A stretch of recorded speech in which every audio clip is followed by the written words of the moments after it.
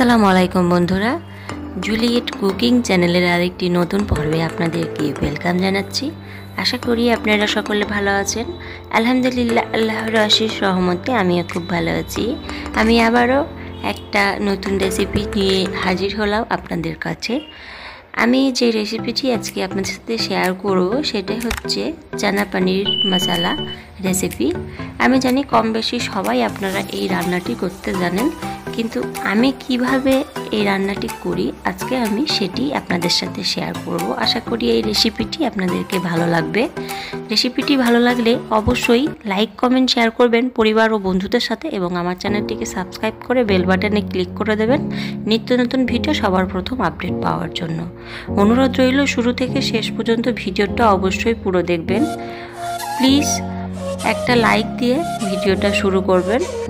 তো চলুন দেখে নেওয়া যাক আমার আজকের পনির মশলা রেসিপিটি বিসমিল্লাহ রহমান রাহিম, এখানে আমি একশো গ্রাম কাবুলি ছোলা নিয়েছি এবং এটাকে আমি ওভারনাইট ফ্রিজে রেখেছিলাম। এবার আমি দিয়ে দিচ্ছি এক টুকরো দারচিনি এবং চারটে লবঙ্গ আর দিয়ে দিলাম পরিমাণ মতো পানি।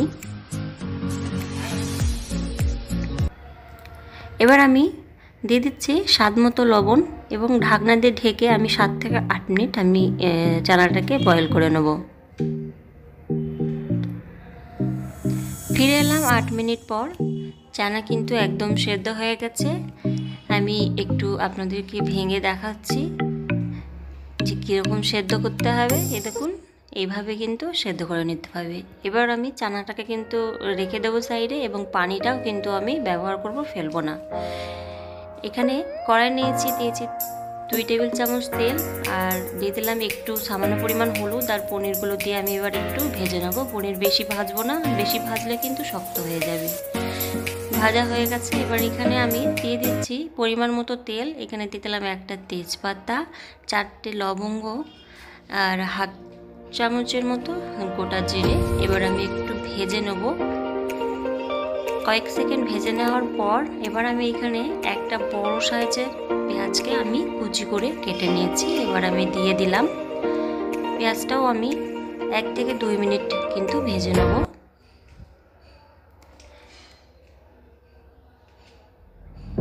এই দেখুন, পেঁয়াজটা কিন্তু ভেজে নেওয়া হয়ে গেছে। এবার দিয়ে দিচ্ছি এক টেবিল চামচ আদা রসুন বাটা। আর দিয়ে দিচ্ছি একটা মিডিয়াম সাইজ টমেটো পেস্ট এবার আমি ভালো করে কয়েক সেকেন্ড একটু এটাকেও ভেজে নেব। যতক্ষণ পর্যন্ত মশলা থেকে তেল আলাদা না হচ্ছে, ভাজবো। এই দেখুন, ভাজা হয়ে গেছে। দিয়ে দিলাম হাফ টেবিল চামচ হলুদের গুঁড়ো হাফ টেবিল চামচ কাশ্মীরি রেড চিল্লি পাউডার আর এক টেবিল চামচ দিচ্ছি জিরে ধনে পাউডার আর দিলাম স্বাদ মতো লবণ। এবার আমি ভালো করে মিক্স করে মশলাটাকে একদম ভালো করে আমি কষিয়ে নেব। ঢাকনা দিয়ে ঠিকই আমি কষিয়ে নিয়েছি। দেখুন, মশলা একদম পারফেক্টভাবে কষানো হয়ে গেছে। এবার আমি দিয়ে দিচ্ছি কিছুটা পরিমাণ কাসুরি মেথি। হাতে করে এরকম ক্রাশ করে দিয়ে দিলাম। এবার মিক্স করে নেব।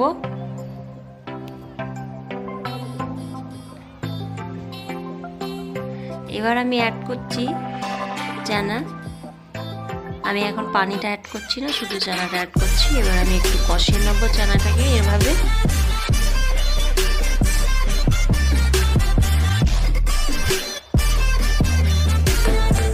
দুই থেকে তিন মিনিট কিন্তু আমি ভালো করে কষিয়ে নিচ্ছি। এবার কষে নেওয়া হয়ে গেছে এবং ওই চানার মধ্যে যে পানিটা ছিল বয়েল পানিটা, আমি সেটাই কিন্তু এখানে ব্যবহার করলাম। এক্সট্রা কোনো পানি আমি ব্যবহার করব না।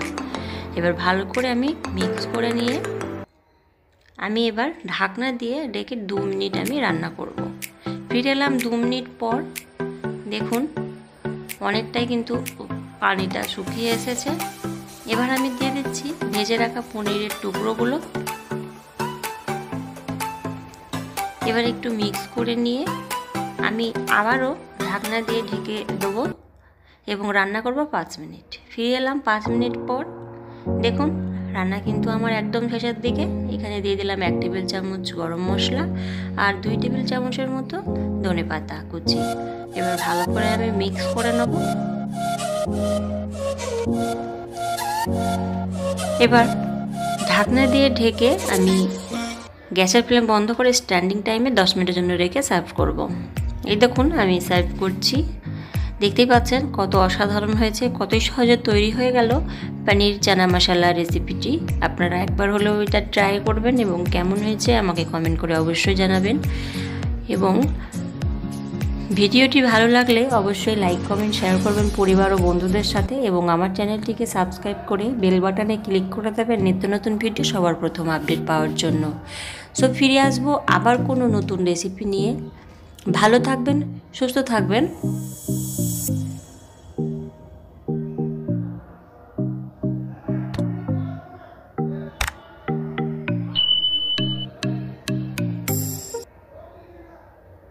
আল্লাহ হাফেজ।